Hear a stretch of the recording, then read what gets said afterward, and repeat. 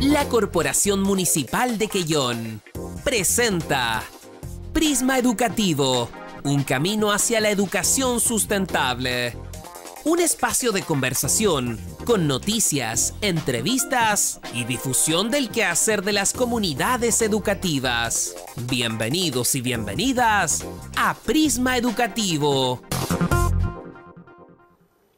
¿Cómo están? Bienvenidos a nuestro programa Prisma Educativo, un camino hacia la educación sustentable, un programa de la Corporación Municipal de la Comuna de Iquillón que se transmite eh, este día, a esta hora, por este medio de comunicación. Saludamos a quienes están a través de nuestras redes sociales, Corporación Municipal de Iquillón. Todas las informaciones, las noticias, las pueden encontrar ahí, fotografía de las actividades del el quehacer de la educación pública municipal. Bueno, en todos nuestros programas hemos tenido invitados los últimos, eh, las últimas semanas a los directores de los liceos de la educación pública. El día de hoy nos acompaña don Francisco Cerón, director del liceo Rayer Mapu. ¿Cómo está? Bienvenido. Muy buenas tardes, estimados, estimados, porque hay más gente acá esta parte de nosotros. En la dirección, obviamente. En la dirección. Muy buenas tardes y acá estamos para responder las preguntas que nos puedan hacer y juntos construir algo mejor para nuestro, nuestro querido Quillón y nuestra querida educación de Quillón. Vamos de inmediato a preguntarle cómo han sido estos primeros días de clase. Estamos en la primera semana, esta marcha blanca para eh, enfrentar el segundo semestre. Bueno, estamos, eh, te comentaba adelante, partimos el segundo semestre eh, no académico, el segundo semestre de tiempo, porque el primer semestre todavía, todavía no se cierra, porque hay que recordar que las vacaciones eh, entre comillas, se adelantaron. Por lo tanto, hubo ahí un quiebre de, tiempo donde nos alcanzaron a cerrar muchos procesos académicos durante el primer semestre. Pero estamos comenzando un nuevo ciclo con los estudiantes y ya dispuesto a, a trabajar en todo lo que sea necesario para que este año sea un buen año para los estudiantes, para los profesores y para todos los funcionarios de nuestro Liceo Rayén Mapu y en realidad siempre yo lo he dicho, si nosotros como, como, como establecimientos de educación pública dentro de la comuna, escuelas, liceos, uno está bien, eso también repercute positivamente en el bienestar de los otros establecimientos. Y eso lo hemos conversado siempre con los directores y por eso que hemos trabajado bien mancomunadamente bien unido entre directores para que, entendiendo de que los jóvenes de Quellón son los jóvenes de Quellón, independientemente en el, establecimiento educacional donde se encuentre. Así que bajo esa mirada general estamos partiendo este segundo semestre y eh, hemos trabajado durante estos últimos tiempos también. Coméntenos un poquito el primer semestre, ¿cómo fue para el Ryan Map? El primer semestre fue un buen semestre, Tuvimos las dificultades típicas que se tienen todos los, todos los años, pero pudimos comenzar con la presencialidad después de estos dos años que, que estuvimos, entre comillas, un poco frenados. Obviamente se hicieron varios esfuerzos para acercar un proceso académico a los estudiantes de distinta manera, pero durante este año ya comenzamos con presencialidad absoluta.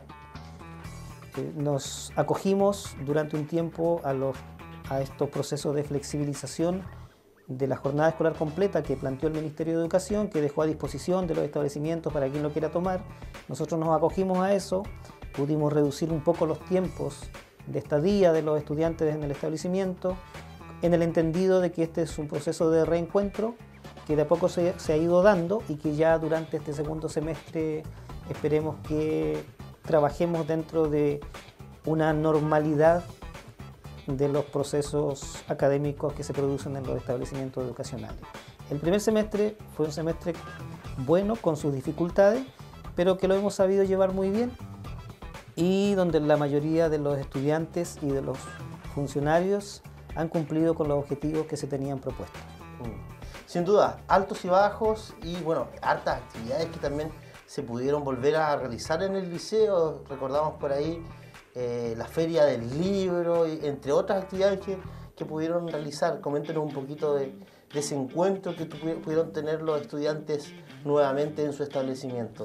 Por supuesto, los establecimientos educacionales, incluido el Liceo Roger Mapu, nos proponemos eh, retomar las actividades académicas eh, curriculares y extracurriculares Y en ese sentido, claro, pudimos nosotros eh, ejecutar nuevamente la feria del libro a través del departamento de lenguaje y todo el apoyo logístico que se puede eh, prestar a través de los diferentes departamentos de asignatura, el equipo directivo, los otros profesores. El liceo en general se pone a disposición de estas actividades y también otros, otras actividades internas extracurriculares, volvimos a las actividades deportivas, volvimos a ganar algunos campeonatos nuevamente.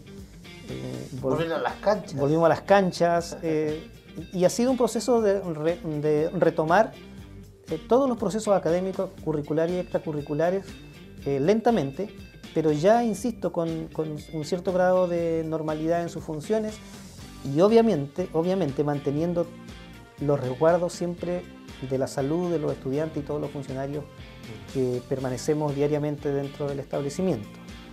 Así que efectivamente se han retomado las actividades y estamos contentos por eso porque de a poco vamos viendo que sí se pueden hacer. Porque también venimos saliendo de un proceso de, de temor de un proceso de incertidumbre, de, no saber muy bien para dónde íbamos. O qué iba a pasar. o qué iba a pasar, qué iba a pasar. ¿Qué restricciones más íbamos a tener? Exactamente. Pero ahí vamos avanzando y ya yo creo que de a poco nos vamos desprendiendo y entendiendo que este proceso pandémico que hubo durante un tiempo ya eh, nos va dejando atrás de a poco, pero siempre nosotros tenemos que tener los resguardos eh, sanitarios correspondientes para que esto para que esto sea bien llevado también. No nos debemos, no debemos flexibilizar tanto, pero sí de a poco ir tomando cierta normalidad en todos los aspectos que conlleva un proceso estudiantil dentro de un establecimiento educacional. Hay un fenómeno que se dio los primeros días eh, y durante los primeros meses de, de clase el primer semestre y lo conversamos con los otros directores también y había una preocupación por parte del sostenedor y a nivel eh, nacional de todos los sostenedores y de las autoridades. Eh, el comportamiento de los estudiantes, hubieron algunas situaciones que, que mm. ocurrieron, que sí viralizaron, perdón, viralizaron, de repente me cuesta decir esa palabra, viralizaron, sí, claro. Eh, y bueno, estas situaciones también las, subieron, las supieron conllevar ustedes como establecimientos educacionales, salieron fortalecidos también de estas situaciones. Mira, yo quiero tomar la última palabra que dijiste, que es el tema de salir fortalecidos. Efectivamente, nosotros eh, nos fuimos, no estuvimos ajenos a este fenómeno que todavía yo no sé si es proceso de estudio sociológico o no, pero da para un buen estudio sociológico. Este fenómeno que pasó, en, los jóvenes. Que pasó en los jóvenes y también en los adultos. Mm. También en los adultos.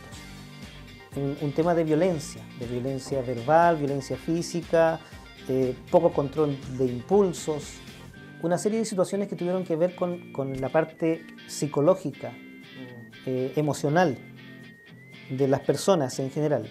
Efectivamente, nosotros tuvimos algunas riñas dentro del establecimiento, eh, donde ah, hubo uso de arma blanca, me acuerdo la primera vez. Después siguieron otros, otras riñas entre estudiantes. Pero también nosotros entendíamos que, o entendemos, que este era un proceso social que se estaba dando, un fenómeno social que se estaba dando, y aunque nosotros hubiésemos querido sacar el quite, no pudimos. Se dio, lo enfrentamos como correspondía, y efectivamente hemos salido fortalecidos de todo eso, porque también a raíz de eso nosotros pudimos realizar una serie de acciones que nos permiten hoy día controlar ese tipo de situaciones y también saber cómo enfrentarlas. y nosotros no, seguimos estando a eso porque estos procesos continúan, estas cosas continúan. Pero sí hemos salido fortalecidos, tanto los estudiantes como los funcionarios. Y yo quiero ser claro también aquí frente a las cámaras, porque también estas cosas sucedieron en, la mayoría de los colegios, tanto de Quellón como de otras ciudades del país. Otros lados, mucho. En otros lados, exactamente. y con situaciones un poco más graves incluso. Pero yo quiero dejar en claro también que nosotros tenemos, por ejemplo, en el liceo sobre 500 estudiantes, alrededor de 520 estudiantes. Y son 5, pongámosle 10. Que sean 20. Que sean 20 los que andan, los que tienen la dificultad de no saber o, que sufrieron esta problemática post pandemia. pero también tenemos un universo del otro 95, 97, 98% de estudiantes que van al establecimiento, que han asistido al establecimiento y que han llevado su proceso académico sin ninguna dificultad y están contentos en su liceo, han participaron de su actividad de semana aniversario muy bien, han participado de, de, las otras actividades, no tienen dificultades ni académicas ni conductuales. Y esa es, esa, y es la mayoría de los jóvenes. Entonces, claro, visualmente por algunos hechos puntuales aparecen que da, da la impresión de que todo el mundo estuviera anduviera enojado y peleándose. Pero en realidad eso no es así. No es así, yo lo digo con toda la certeza porque nosotros estamos allá adentro y la mayoría de los... nos educamos ahí. exactamente, muchos nos educamos ahí en el Liceo Reyes Mapu y la mayoría de los jóvenes que asisten a clases diariamente van con alegría, se sienten bien, disfrutan de su estadía en el establecimiento, aprenden, se proyectan y usan la plataforma de la enseñanza media para proyectarse a un futuro mejor. Bueno, sin duda, mucho hemos pasado por la sala, conocemos esta comunidad educativa y conocemos la educación pública eh, desde adentro, de Exactamente. Eh, cómo se ha forjado y cómo ha crecido también.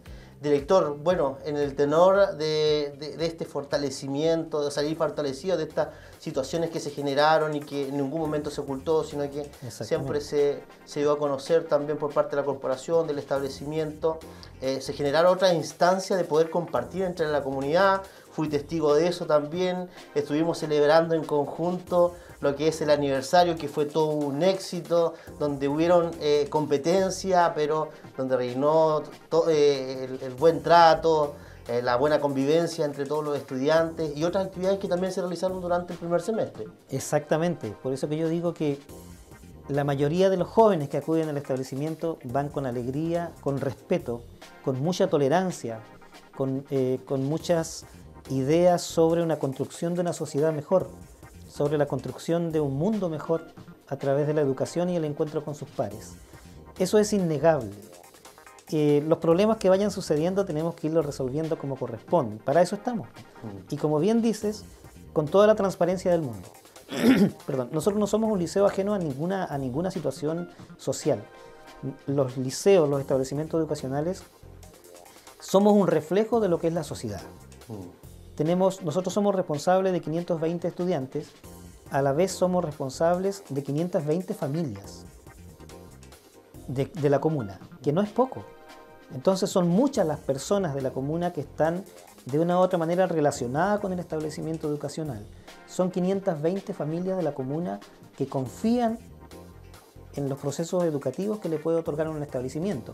Asimismo lo tiene el Liceo Pablo Freire, asimismo lo tiene el Liceo Politécnico, con muchas familias relacionadas que confían en un proyecto educativo que se les ofrece y que si el estudiante y la familia van con la idea de que el establecimiento le otorgue algo, obviamente que el establecimiento se lo va a otorgar sin ninguna dificultad, porque para eso están los profesionales internos, están todas las personas que trabajan para el bienestar de los estudiantes.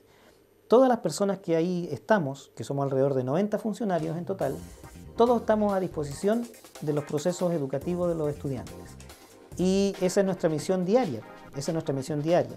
En ningún momento en un establecimiento educacional se va a incentivar a que se produzcan situaciones de indisciplina, de violencia, todo lo contrario, todo lo contrario.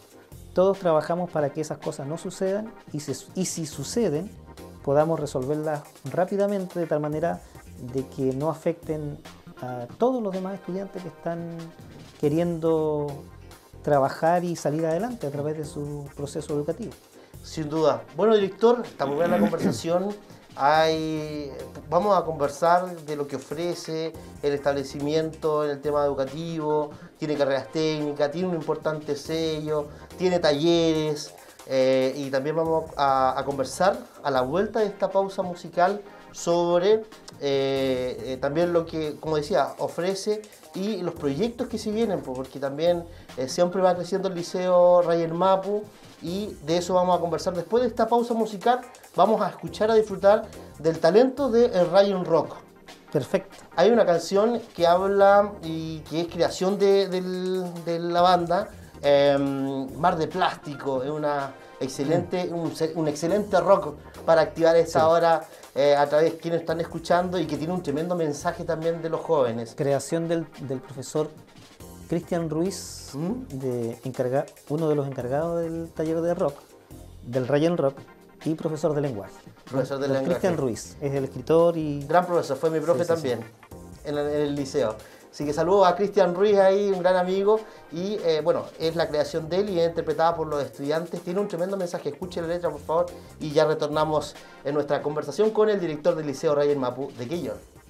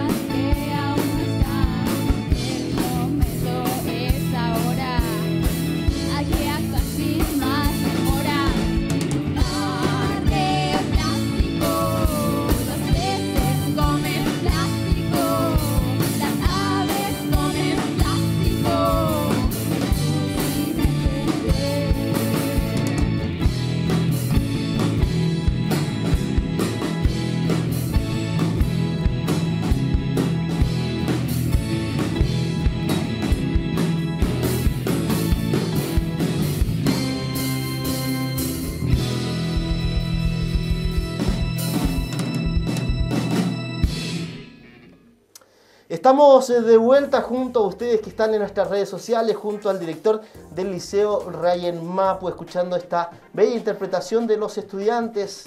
eh, Mar de Plástico, con un tremendo mensaje que nos llama también a nosotros, a la comunidad en general, a cuidar nuestro territorio marítimo, el mar obviamente que nos rodea y que nos entrega tanto también, y lo entrega tanto a muchas familias quilloninas y también familias que son del Rayen Mapu.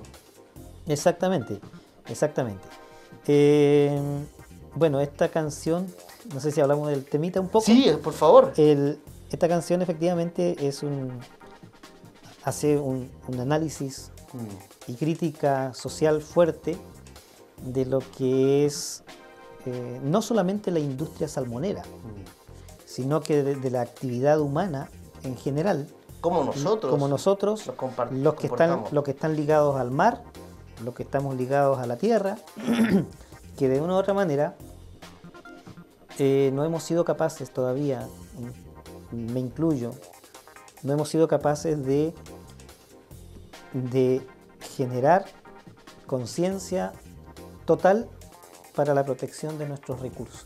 Mm, De una u otra manera siempre estamos ahí avanzando, sí, pero yo creo que siempre falta un poco más. Exacto. Y justamente este tema apunta a que todos tenemos una responsabilidad frente a la protección de nuestro medio ambiente y principalmente de nuestro mar, que es uno de los principales Fuente de eh, sustento. fu- fuentes de sustento de, de las personas que vivimos en, en Chiloé pues, y, y- y a nivel mundial en las costas y, y no solamente en las costas.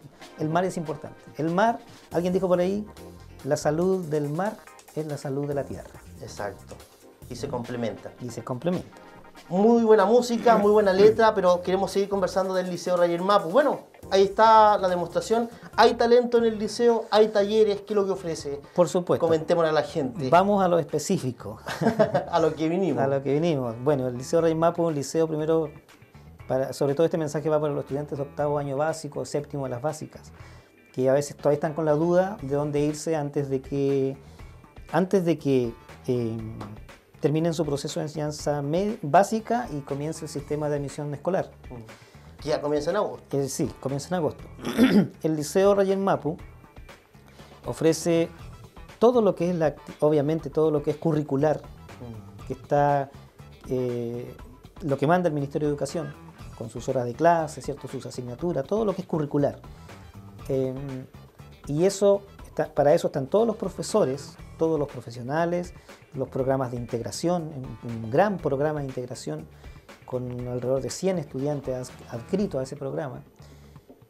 Y también ofrece una serie de, de talleres extraprogramáticos que son de voluntad de los estudiantes, talleres deportivos, selección de básquetbol, de voleibol eh, eh, y otras selecciones más, ajedrez. Eh, también eh, tenemos, que es muy importante para los jóvenes de cuarto medio, tenemos los famosos talleres PAES, que se le llama ahora, porque hace tiempo atrás era PCU, durante un tiempo fue PDT, antes era eh, PCU, prueba Ha ido PAA. evolucionando. Bueno, es- para este año, para este, para este momento es PAES, Páez. eh, prueba de acceso a la educación superior. ¿ya? Eh, los jóvenes de cuarto medio pueden acceder a estos talleres que los brindan los mismos profesores, ¿cierto? a través de sus tiempos, para la preparación, para rendir esta prueba e- y poder ingresar a la universidad con mayor facilidad. Y así una serie de eh, talleres de pintura, de murales, de deportivos, ya lo dije, artísticos, tenemos teatro, un- una serie de cosas. Y todo aquello Radio. que un taller de radio, un taller de radio escolar también que es muy Hemos importante. pasado mucho por ahí. Exactamente, donde usted, don Taller Milén. un taller de música Milén, exactamente, taller de folclore, el taller de folclore Chumayhuén, que antes era dirigido por don Carlos Chihuay, que es concejal ahora, que por su labor de concejal está fuera, pero eh, Belén, su hija, que es profesora de ciencias, ella continuó con el trabajo de su papá y ella está a cargo del grupo de folclore Chumayhuén El legado. el legado, que también trabajan muy bien todos los jóvenes que quieran participar, ahí hay estudiantes y funcionarios. Talleres deportivos también. Talleres deportivos, exactamente, en- tanto en damas como en varones, voleibol, básquetbol, básquetbol fútbol, selecciones, eh, de todo hay. Y todo aquello que no haya Se puede implementar. se implementa rápidamente si un grupo de jóvenes está interesado. Mm. Ese, es el- ese es el espíritu del establecimiento. Mientras se pueda, mientras tengamos los recursos, mientras haya interés de los jóvenes, nosotros no, va- no le vamos a decir que no. Mm. Porque esa ha sido siempre la tónica y la forma que tenemos de entregar una educación integral a nuestros jóvenes de Quellón, porque son nuestros jóvenes de Quellón. Y, todo lo que no haya se construye, se construye entre todos. Esa es la idea, esa es la forma. Y así hemos avanzado y así venimos trabajando desde muchos años atrás. Y por eso es que finalmente aquellos estudiantes que han pasado por la enseñanza media en el Liceo Rayán Mapu Tenemos mucho cariño. le tienen mucho cariño a su liceo porque efectivamente eh, se trabaja de, de- de esa manera, con sellos institucionales muy característicos que están ligados al, a un espíritu crítico y reflexivo de lo que sucede en el, en el entorno, ¿cierto? en la sociedad, eh, con un sello netamente ambiental también, porque también hay una brigada ecológica, hay un trabajo a través de, la, de, de los talleres de ecología, de los coordinadores ecológicos, hay una serie de actividades también en esa área Reciclaje, de aceite. reciclaje de aceite, de pilas, de tapas de botella. Entonces está todo dado para que los jóvenes en sus gustos, en sus anhelos, puedan acceder a actividades extracurriculares de su interés. Y muchos de ellos también, a veces es bien importante esto porque muchos de ellos toman su rumbo pro- profesional o técnico posteriormente en base a lo que hacen en los talleres extraprogramáticos, más que a lo que sucede en cada una de las asignaturas, Mm, porque ahí hacen lo que les gusta Sí, claro. y en eso se proyectan posteriormente. Eh, Hay muchos Sí. actores, Ah, exactamente. gente que se dedica al deporte, eh, que estuvieron, por ejemplo, en un taller de, de- deportivo y ahora son monitores deportivos, Exactamente. profesores de, exacto. del área. profesor, de- profesor de educación física, tenemos, eh, han salido de todo. tenemos eh, personas relacionadas con las comunicaciones como usted, don Iván, que se acaba de titular, que yo aprovecho de felicitarte públicamente Muchas también, gracias. porque ha sido un esfuerzo también, es un esfuerzo importante. También a través de la radio, tú fuiste parte de la radio escolar durante mucho tiempo y es lo que sigues haciendo, ¿te das cuenta? Entonces, son importantes todas esas otras Y instancias. son cientos de casos. Así. Son cientos de casos así. Entonces los jóvenes que van al Rey Mapu, que es un liceo con tradición... de eh, excelencia y tradición. eh, ¿no? sí, sí, ¿Cómo le dice claro. Así que está dispuesto todo ahí para que aquel estudiante, aquella familia que quiera llevar a su estudiante, lo haga y lo haga con confianza porque están todas las herramientas a disposición para que los jóvenes puedan proyectarse y la enseñanza media sea una plataforma para poder continuar sus estudios superiores. Junto con eso también tenemos, perdón, el área técnico profesional, donde los jóvenes de tercero y cuarto medio pueden estudiar una carrera técnica profesional, ya sea en el área de gastronomía o en el área de construcción habitacional. Este, porque nosotros somos un liceo técnico profesional, pero también somos un liceo humanista, o sea, tenemos, se llama polivalente. Somos el único liceo polivalente de la comuna, donde hay un área que, donde los mm, estudiantes de tercero y cuarto medio pueden continuar con sus estudios humanistas, humanísticos científicos, o HC como se llama, preparándose exclusivamente para rendir la prueba final, para que ellos tengan posibilidad de ingresar a la universidad con mayor facilidad, pero también están los jóvenes del área técnica, que estudian gastronomía y construcción, que no quita que esos jóvenes también se preparen para rendir la prueba de acceso a la universidad Con los talleres que con los- principio. a través de los, porque ellos también son invitados a participar de estos talleres Mm. de preparación para rendir la prueba de acceso a la educación superior, La PAES. la PAES. Entonces tenemos ya muchos técnicos en construcción, muchos técnicos en gastronomía. Gastronomía es una carrera que tiene mucha demanda, donde quedan muchos jóvenes en lista de espera. Y construcción también es una carrera que ya es demandada con gran interés de los estudiantes porque ya hay cupos completos en las carreras. Ya no hay, eh, por ejemplo, en este momento si alguien quiere matricularse en construcción, ya no podría porque están los cupos completos. Entonces eh, han tenido éxito estas modalidades de estudio, ambas modalidades de estudios, eh, y es todo para el servicio de los estudiantes finalmente.